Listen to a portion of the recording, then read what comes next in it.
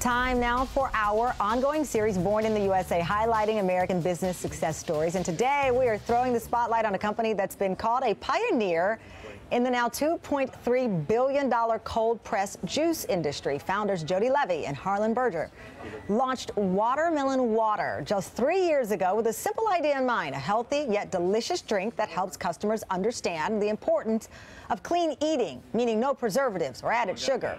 Watermelon water uses watermelons that would otherwise, get this, be discarded for cosmetic reasons. Yes, ugly watermelons. It's a win win for them and for farmers who are able to turn a loss into a profit. The company has made quite a mark in a short time, catching the eye of, yes, one of the world's biggest superstars in the process. Earlier this year, Beyonce became a major investor in the company, saying, quote, this is more than an investment in a brand, it's an investment in female leaders, fitness, American farmers, and the health of people and our planet. Joining me now is Watermelon Water co-founder Jody Levy. Jody, thank you so much for joining us. Thank you for having me, Tamron. The Queen Bee decides to invest in your company. Tell me how that happened, or what can you tell me about it? Well, it was very serendipitous. Um, we launched our product in late 2013 with Whole Foods mm -hmm. and the opening of the Gowanus Brooklyn store, yeah. which got pushed and pushed and pushed until December 13th. And on that same day, Beyonce dropped her track Drunk in Love, which of course ends in the lyrics, I've been drinking watermelon. Yeah, yeah. Which started a very amazing connection between us and her um, firm Parkwood yeah. and led to her attention on our mission driven business.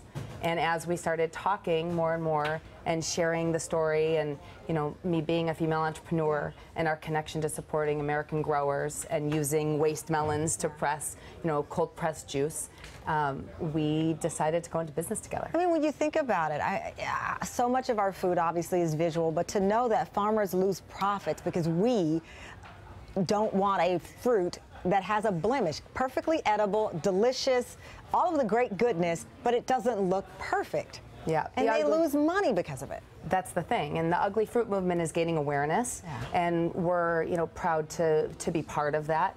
Um, for watermelons, it's a little bit different than other produce. Watermelons are 18 to 24 pounds. Yeah. So with other fruits and vegetables, they can ship to a retailer and they can kind of be discarded out. But for the watermelon growers around the country, when they have 250,000 tons of sunburned melons that they know aren't going to be sold, we compress them into perfectly good, highly functional hydration. All right, I'm gonna get hydrated because I've had a long day and I was drinking last night like Beyonce. So, and I have to give a shout out to Luling, Texas, my hometown, which is famous for the Watermelon Thump Parade, and I was the uh, Grand Marshal a year ago. Amazing.